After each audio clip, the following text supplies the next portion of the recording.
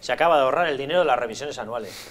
yo no entiendo nada, de verdad, pero ¿cómo se puede hacer semejante análisis técnico? Bueno, vamos a una cosa que de técnico no tiene nada, de malvado tiene mucho. Ustedes habrán escuchado, ¿verdad?, esta famosa historia de, no, es que nos están pagando los ERTES porque hemos tenido un atasco, claro, tengan en cuenta. Sí, claro, efectivamente, los empleados públicos han tenido un atasco, no se han reagrupado, no se han eh, reasignado determinados colectivos de empleados públicos que se tendría que haber hecho para haber podido sacar adelante estas cuestiones, porque ha habido infinidad de personas afectadas.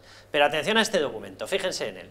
Este documento que están viendo, y lo van a ver en unos momentitos, viene directamente SEPE, del Ministerio de Trabajo, de la gestión precisamente de esos ERTES.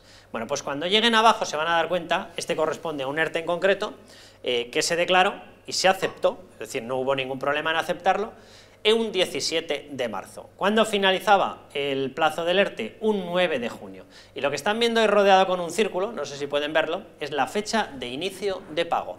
Eso lo firma el Ministerio de Trabajo. Bueno, la fecha de inicio de pago no pone el 17 de marzo, que hubiese sido lo lógico, ¿verdad? De forma que hubiese ido llegando el pago de una forma periódica. No, la fecha de inicio de pago pone 10 de junio.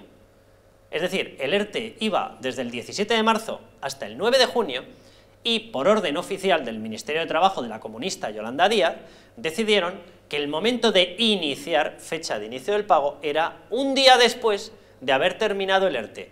Y entonces, gran pregunta para la gran comunista Yolanda Díaz, eh, ¿de qué va a comer esta persona? O mejor dicho, ¿de qué han comido todos los que se han visto afectados? Luego sacan el bulo de que esto no tenía nada que ver con una decisión política. No, no, esto es el atasco, ya saben, el estado de alarma, la pandemia, ha habido mucha gente que se ha contagiado. Sí, sí, todo eso era verdad, pero faltaba un dato, su maldad. Ustedes pusieron la cifra porque ustedes sabían que se iban a quedar sin dinero. Y como no querían parar los gastos de la señora Irene Montero, los gastos del señor Pablo Iglesias, los gastos suyos de todos sus cargazos, las 14 subdirecciones y direcciones adicionales que han creado, el tener el megagobierno gigantesco más brutal de toda la historia de España, como todo eso no estaban dispuestos a pararlo, ¿qué es lo que decidieron parar? La fecha de inicio de pago de los ERTE, el escudo social. Así lo llamó Pablo Iglesias, dijo, no vamos a dejar a nadie atrás. Yo no sé si lo han dejado atrás, delante o a un lado, lo que sé es que le han dejado sin comer los del escudo social. Son tan sociales, tan sociales, que cogen y anotan tener a una persona desde el 17 de marzo hasta el 10 de junio sin tener ingresos para poder comer.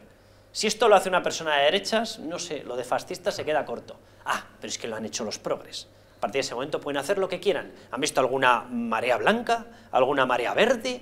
¿Algunos estudiantes por la revolución marxista? ¿Han visto ustedes a alguien? ¿Algún, sindicato? quejándose? ¿Alguna agrupación de estas que hace informes, eh, que sí, están ligados a determinados organismos que tienen todo el mérito del mundo, pero luego sacan unos informes sobre las cuestiones de pobreza para golpear? Ahora han desaparecido esos informes, una cosa maravillosa con la mayor eh, pandemia que hemos tenido, han desaparecido los informes sobre pobreza. Debe ser que justo junto con el virus ha debido surgir dinero por las calles, debe ser. O sea, toda esta gente, ¿dónde está ahora?